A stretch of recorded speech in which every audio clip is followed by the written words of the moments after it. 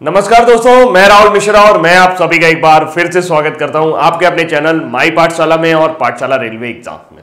और रोज की तरह आज भी आपके लिए करंट अफेयर्स लेकर आ गया हूँ। वीडियो देखने से पहले इसको शेयर करना मत भूलिएगा और लाइक करना तो बिल्कुल भी मत भूलिएगा। बाकी कहना मेरा काम है करते तो आप अपने मन का ही है।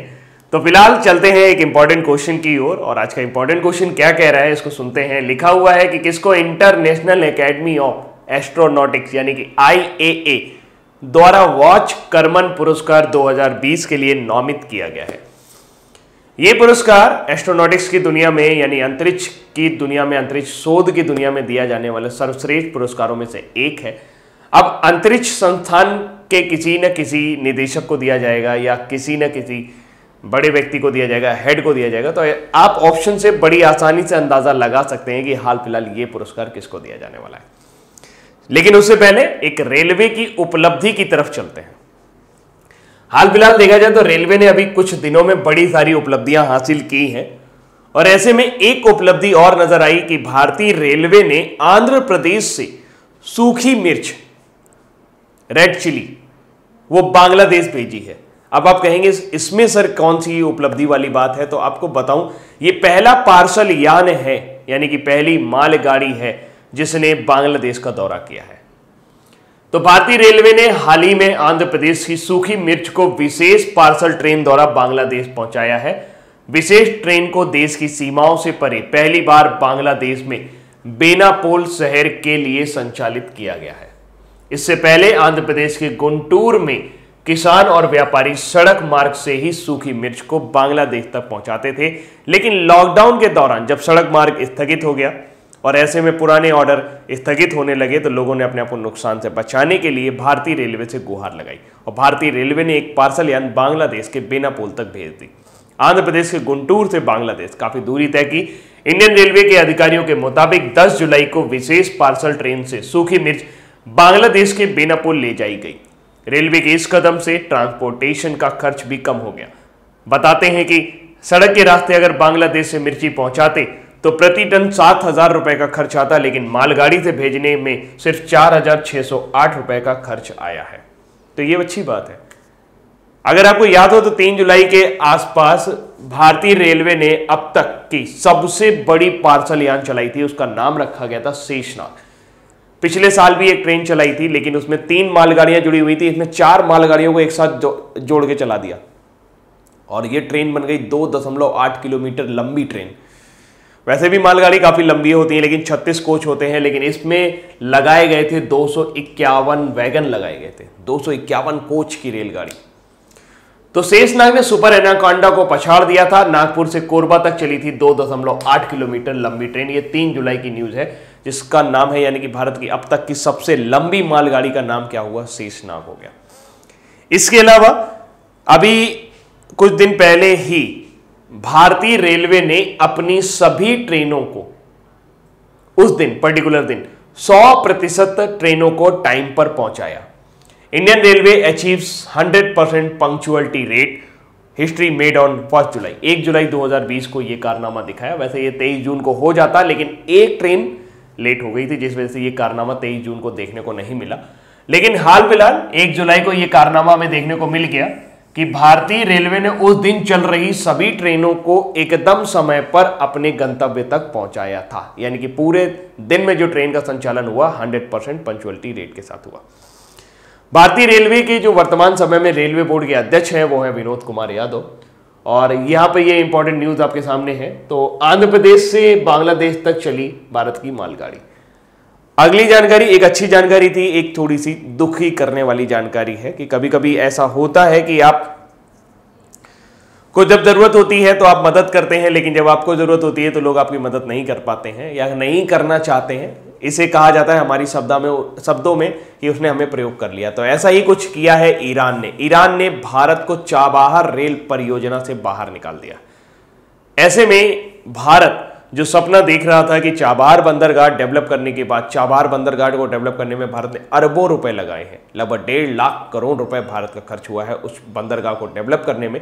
और बंदरगाह को अकेले डेवलप करने से भारत को फ़ायदा नहीं होने वाला था, क्योंकि भारत जो अपना माल सप्लाई करना चाहता है, जो सामान सप्लाई करना चाहता है, वो पाकिस्तान के ज़रिए नहीं। उसके पास एक सपना था कि चाबार बंदरगाह से जो रेल परियोजना होगी, उसके ज़रिए हम अफ़गानिस्तान तक अपना माल पहुँचा पाएँगे। लेकिन अब इस परियोजना से भारत को बाहर निकाल दिया गया है।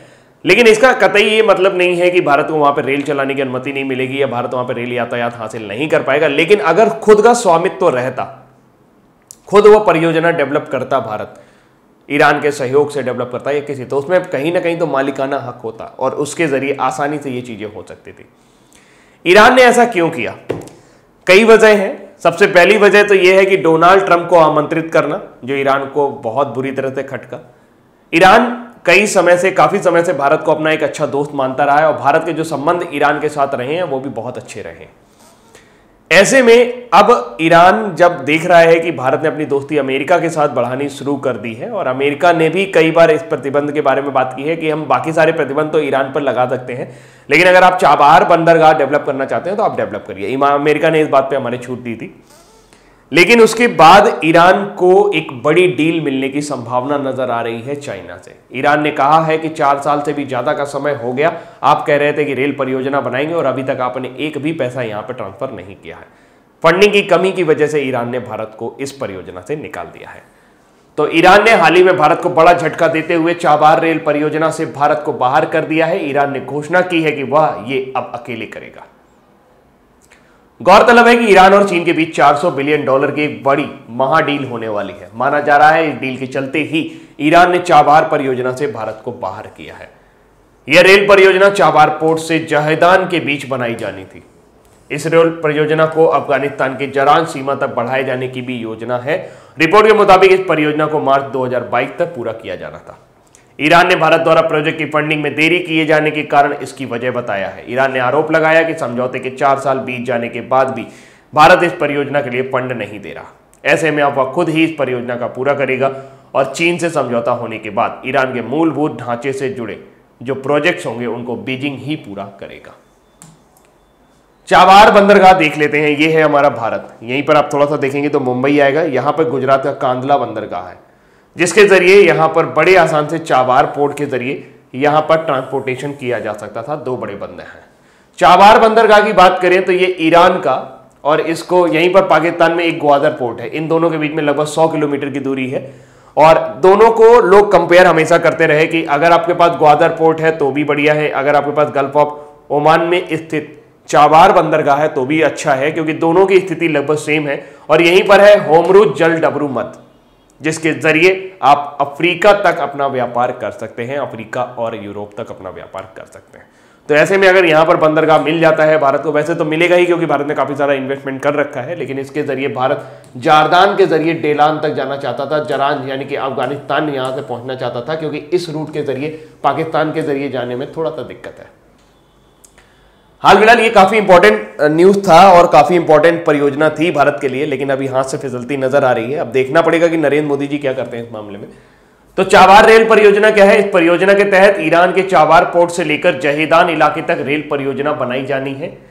इस रेल परियोजना को अफ़गानिस्तान की जरान सीमा तक बढ़ाए जाने की योजना है। रिपोर्ट के मुताबिक इस परियोजना को मार्च 2022 तक पूरा किया जाना था। साल 2016 में प्रधानमंत्री नरेंद्र मोदी की ईरान यात्रा के दौरान चावार समझौते पर हस्ताक्षर हुआ था। पूरी परियोजना पर लगभग एक दशमलव छह अरब डॉलर का निवास होना था, निवेश होना था। इस परियोजना को पूरा करने के लिए इरकॉन जो कि एक भारतीय रेल कंपनी है, भारतीय रेल, रेलवे इंजीनियर है, भारतीय कंपनी है, जो रेलवे का ठेका देखती है, उसके इंजीनियर भी ईरान गए थे। चाबार बंदरगाह की बात करें तो ये सिस्तान और बलूचिस्तान प्रांत के मकरान तट पर स्थित ओमान की खाड़ी के पास में होरमुज जल संधि के स्ट्रेट के मुहाने पर है। यह ईरान का एकमात्र ऐसा बंदरगाह है, जो इसे हिंद महासागर में सीधी पहुँच प्रदान करता है।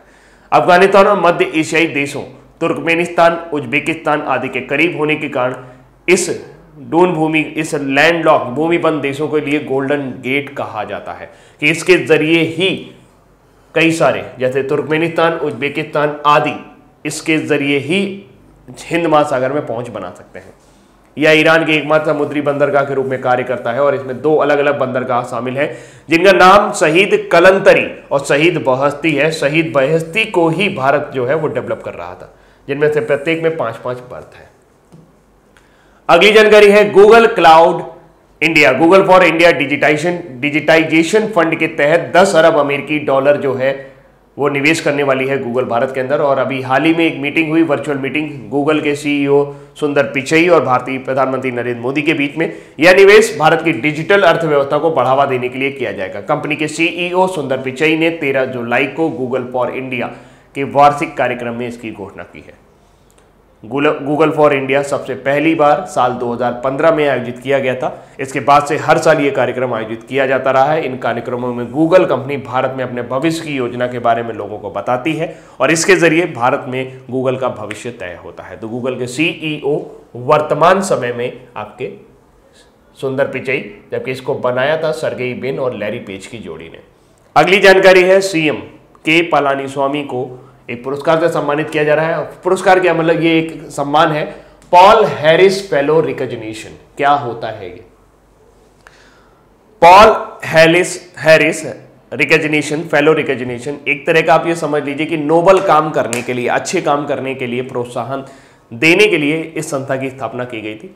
रोटरी फाउंडेशन, ब्रिटेन, इसका मुख्यालय जो है, ये आपका ब्रिटेन में है, और वहाँ से ये संचालित होता है। तो हाल फ़िलहाल तमिलनाडु के मुख्यमंत्री एडा एडापड्डी के पलानीस्वामी को शिकागो के रोटरी सॉरी शिकागो के Rotary Foundation of Rotary International द्वारा पॉल हैरिस फेलो सम्मान से सम्मानित किया गया है।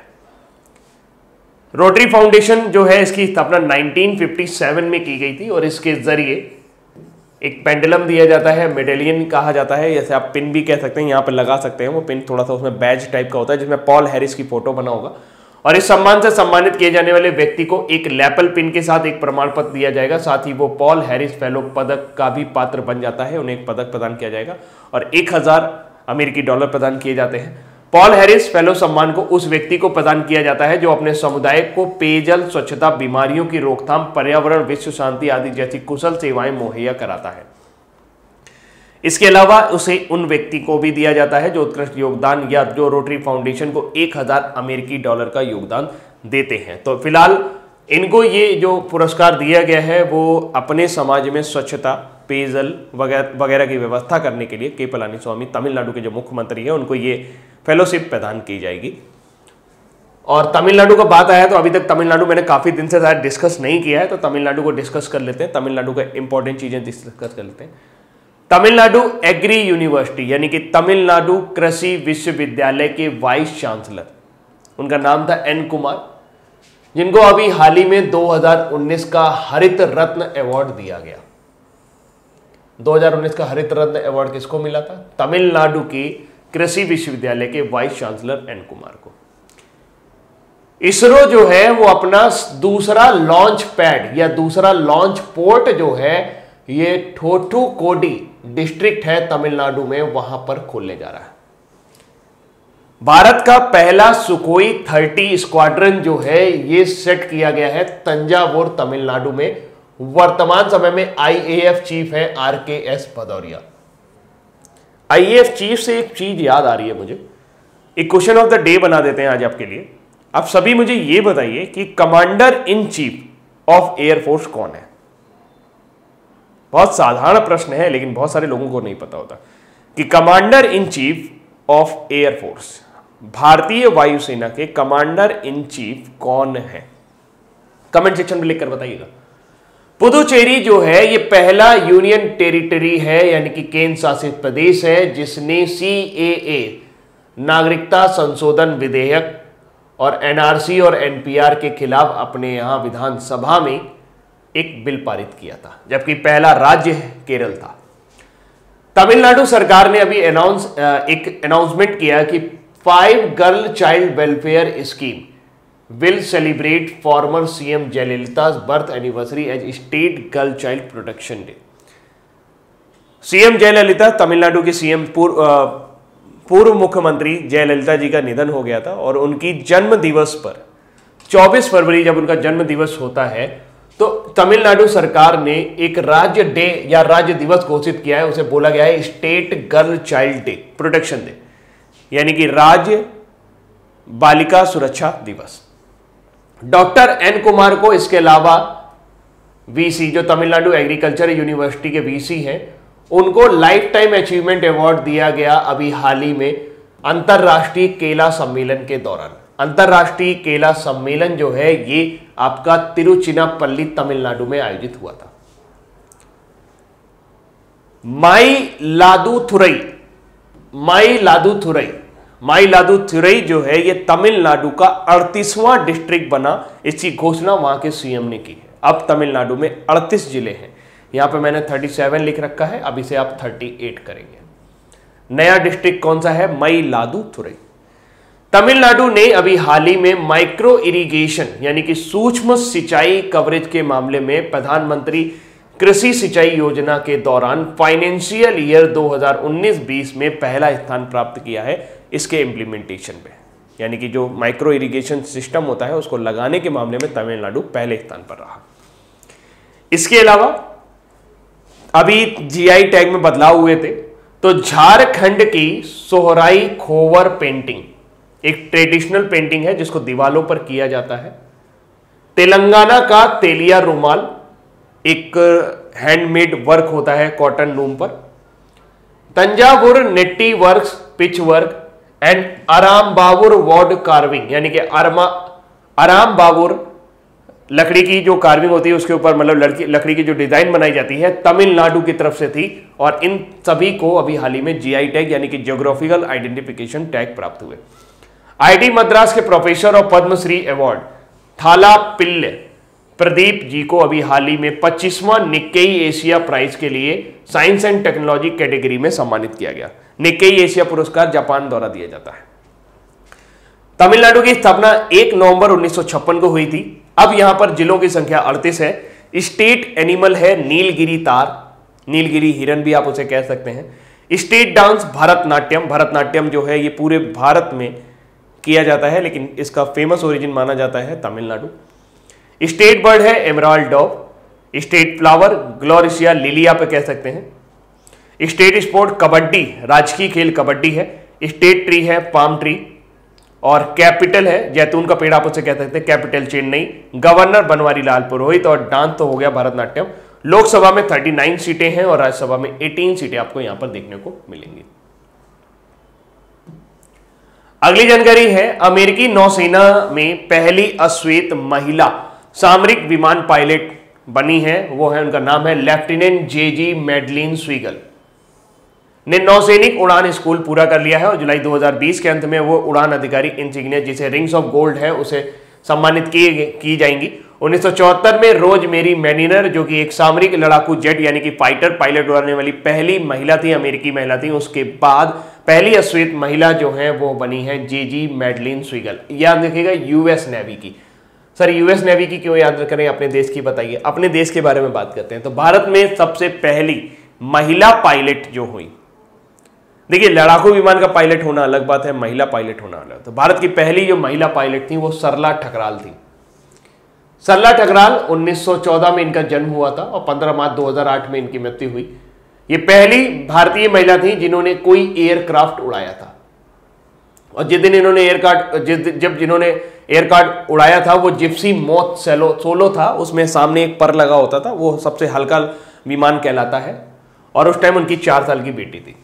भारतीय वायुसेना ने अभी तक महिलाओं को फाइटर प्लेन उड़ाने की इजाज़त नहीं दी थी, लेकिन पिछले साल ये जब ये इजाज़त मिली तो तीन महिलाएँ एक साथ, अवनी चतुर्वेदी, मोहना जितरवाल और भावना कंड पहली भारतीय लड़ाकू महिला लड़ाकू विमान महिला पायलट बनकर उभरी। जबकि भारतीय नौसेना में आपकी जो पायलट थी, वो थी शिवांगी। लेफ्टिनेंट शिवांगी जो है, ये भारतीय नौसेना की पहली महिला पायलट है।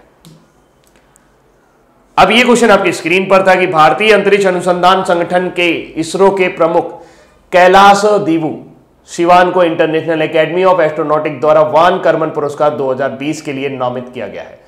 वान कर्मन पुरस्कार को आईएए के उच्चतम गौरव के रूप में जाना जाता है। डॉक्टर के सिवान मार्च 2021 में पेरिस, फ्रांस में पुरस्कार प्राप्त करेंगे। Professor Udupi Ramachandra Rao. Professor Udupi Ramachandra Rao von Karman पुरस्कार प्राप्त करने वाले पहले भारतीय थे। इंटरनेशनल एकेडमी ऑफ़ एस्ट्रोनॉटिक्स की स्थापना भी वान कर्मन ने की थी, जो संगठन के पहले राष्ट्रपति थे, प्रेसिडेंट है यहाँ राष्ट्रपति नहीं होना चाहिए, प्रेसिडेंट यानी कि अध्यक्ष थे, और जो अंतरिक्ष में सीमाओं को विस्तार करने के लिए प्रतिबद्ध है। तो International Academy International Academy of Astronautics जो है, ये शीर्ष संस्था है पूरे विश्व में, जो अंतरिक्ष में किए गए शोध को महत्वता प्रदान करती है, उनके बारे में थोड़ा सा लोगों को जागरूक करती है। तो के सिवान इसरो के हेड जाएँगे वॉन कर्मन पुरस्कार लेने। रस्किन बॉन्ड की एक पिक्चर आ गई है एक नई पुस्तक आ गई है a song of India Ruskin Bond द्वारा लिखी गई सॉन्ग ऑफ़ इंडिया पुस्तक का विमोचन 20 जुलाई 2020 को किया जाएगा। यह पुस्तक लेखक के साहित्यिक कैरियर के सत्तरवें वर्ष के अवसर पर जारी की जा रही है। इस पुस्तक को पेंगविन रैंडम हाउस की इंडिया की इम्प्रिंट पफिन बुक द्वारा प्रकाशित किया गया है। या नई book looking for rainbow 2017 till the clouds roll by 2017 और कमिंग राउंड द माउंटेन 2019 के बाद आने वाली उनकी यादगार सीरीज़ की चौथी पुस्तक है। इन सभी सीरीज़ में रस्किन बॉन्ड ने अपने जीवन वृत्तांतों के बारे में बताया है, अपने जीवन की यात्राओं के बारे में बताया है। रस्किन बॉन्ड बहुत फ़ेमस लेखक है। रस्किन बॉन्ड ने एक सॉन्ग ऑफ़ इंडिया पुस्तक में 16 साल की उम्र में हुए अपने अनुभव साझा किए हैं, जिसमें उन्होंने वर्णन किया है कि प्रसिद्ध लेखक बनने से पहले उन्होंने अपनी लेखन यात्रा शुरू करने के लिए किस प्रकार संघर्ष किया था। अगली जानकारी है, चीन के साथ लगातार तनाव को बंद, तनाव होने के कारण भारतीय सेना लगातार हथियारों की खरीद में जुटी हुई है और ऐसे में बहत्तर हज़ार एस राइफल खरीदने का सौदा जो है वो सामने आया है। रक्षा मंत्रालय अमेरिका से बहत्तर हज़ार एस एसाल्ट राइफलों को ऑर्डर देने जा रही है। या दूसरे बैच की राइफलें होंगी, जो पहले ही उत्तरी कमान और अन्य ऑपरेशनल इलाकों में सैन्य के इस्तेमाल के लिए सेना को पहुंचाई जा चुकी है। S I G assault rifle की बात करें तो इसमें इससे पहले जो भारतीय जवान है वो इंसास राइफल का प्रयोग कर रहे थे। INSAS rifle, Indian small arms rifles हैं और ये फैक्ट्री, यहाँ पर इंडियन में भी डेवलप की गई है, भारत और रूस के सहयोग सहयोग से इन राइफल्स को डेवलप किया गया। इन राइफल्स में लगातार मैगजीन टूटने की समस्या सामने आ रही थी, जिसकी वजह से नई राइफलों की खरीद के लिए ऑर्डर जारी किए गए हैं। इन सभी राइफलों को आपके लद्दाख सीमा पर पहुँचाया जाएगा और वहाँ पर सैनिकों को मजबूती प्रदान की जाएगी। S I G assault rifle वर्तमान समय में देश विश्व में उपलब्ध। सभी राइफलों के सबसे उन्नत संस्करणों में से एक है और इससे क्लोज और मीडियम और जो ज़्यादा दूर की मारक क्षमता होती है, वो उसमें पर्याप्त तरीके से यहाँ पर सेट की जा सकती है और इसकी मारक क्षमता भी अद्भुत है। तो हाल फ़िलहाल रक्षा सूत्रों के अनुसार पूर्वी लद्दाख में चीन के साथ जारी सीमा विवाद के दौरान भारत सरकार ने अपनी सेनाओं की ताकत को और मज़बूत करने की दिशा में कदम बढ़ाए हैं। सेना की नार्दन कमांड और दूसरे ऑपरेशन इलाकों में तैनात सैनिकों को अमेरिका से बहत्तर हज़ार राइफलें पहले ही प्राप्त हो चुकी हैं। यह राइफलों की दूसरी किस्त होगी। नए हथियारों की खरीद फास्ट ट्रैक परचेज के तहत की जा रही है। हथियार बनाने वाली कंपनी सिक्स सायर से भारत सेना को ये राइफलें प्राप्त होंगी। S I G seven one six assault राइफलें close और लॉन्ग कॉम्बैट के लिए नई तकनीक से लैस है और अमेरिका की S I G seven one six assault rifle लंबी दूरी और करीब के टारगेट को आसानी से भेद सकती हैं। अगली जानकारी है पोलैंड से ऑन्द्रेज डूडा। पोलैंड के दोबारा राष्ट्रपति चुने गए हैं। आंद्रे डूडा को एक बार फिर पोलैंड का राष्ट्रपति चुना गया है। उन्होंने पोलैंड में हाल ही में राष्ट्रपति चुनावों में इक्यावन दशमलव इक्कीस प्रतिशत वोट हासिल जीत, वोट हासिल कर जीत हासिल की। और इस चुनाव में उन्होंने विपक्षी उम्मीदवार liberal Warsaw mayor Rafal Trzaskowski को हराया, जिन्हें अड़तालीस दशमलव उन्यासी प्रतिशत वोट मिले। राष्ट्रपति चुनाव में आंद्रेजे डूडा की जीत उनकी रूढ़वादी लॉ एंड जस्टिस पार्टी द्वारा तीन साल के निर्बाध शासन को सुनिश्चित करेगी। पोलैंड की बात करें तो पोलैंड यूरोप में एक देश है। इस वर्तमान समय में राष्ट्रपति एंड्रेज डूडा राजधानी वर्षे है और वर्षाई की संधि के बारे में आपने बहुत कुछ सुना होगा। जो मुद्रा चलती है पोलिस लाटी बोला जाता है और लैंग्वेज पोलिस लैंग्वेज वहाँ पर यूज़ करते हैं।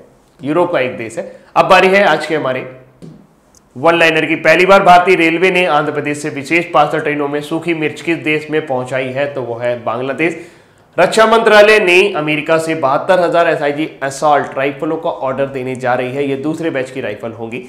और हाल ही में ईरान ने भारत को बड़ा झटका देते हुए चाबार रेल परियोजना से बाहर कर दिया है। इस सॉन्ग ऑफ़ इंडिया पुस्तक के लेखक कौन है? रस्किन बॉन्ड गूगल भारत में Google for India digitisation fund के तहत कितने अरब अमेरिकी डॉलर का निवेश करने वाली है? तो 10 अरब अमेरिकी डॉलर का निवेश करने वाली है। ये जानकारी अभी हाल ही में गूगल के सीईओ सुंदर पिचई ने दी। किसको सिकागो के Rotary Foundation of Rotary International द्वारा पॉल हैरिस फेलो सम्मान से सम्मानित किया जाएगा? तो वो है तमिलनाडु के मुख्यमंत्री एड्डापा एडप्पादादी के पलानी स्वामी अमेरिकी नौसेना ने अपनी पहली अश्वेत महिला सामरिक विमान पायलट का स्वागत किया है। उनका नाम क्या है? उनका नाम है लेफ्टिनेंट जे जी मेडलिन स्वीगर जबकि शिवांगी, बिहार की रहने वाली भारत की पहली नौसेना पायलट थी। किसको?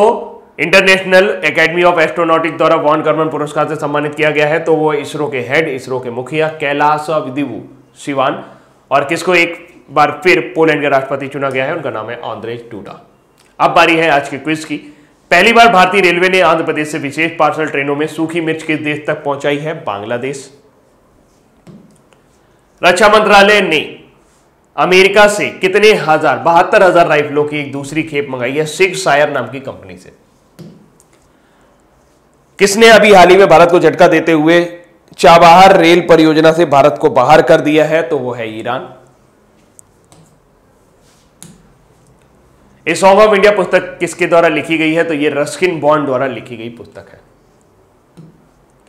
गूगल भारत में Google for India digitisation fund के तहत कितने अरब अमेरिकी डॉलर का निवेश करने वाली है? तो 10 अरब अमेरिकी डॉलर का निवेश जो है वो भारत के अंदर होने वाला है। किसको? शिकागो के Rotary Foundation of Rotary International द्वारा पॉल हैरिस फेलो सम्मान से सम्मानित किया गया है। तो वह है एडापटी के पलानी स्वामी अमेरिकी नौसेना ने अपनी पहली अश्वेत महिला, सामरिक विमान पायलट, यानी कि फीमेल टैक्टिकल एयरक्राफ्ट पायलट का स्वागत किया। उनका नाम क्या है? उनका नाम है लेफ्टिनेंट जी जी मैडलिन स्वीगर किसको इंटरनेशनल एकेडमी ऑफ़ एस्ट्रोनॉटिक द्वारा वॉन कर्मन पुरस्कार के लिए नॉमित किया गया है? तो वो है भारत के के शिवान किसको एक बार फिर पोलैंड का राष्ट्रपति चुना गया है? उनका नाम है ऑन्ड्रेज टूडा पोलैंड की राजधानी वर्षा है। तो दोस्तों, ये थे आज के हमारे इंपॉर्टेंट करंट अफेयर्स और उम्मीद करते हैं ये करंट अफेयर आपको पसंद आए होंगे। अभी के लिए इतना ही रखता हूँ। Take care bye bye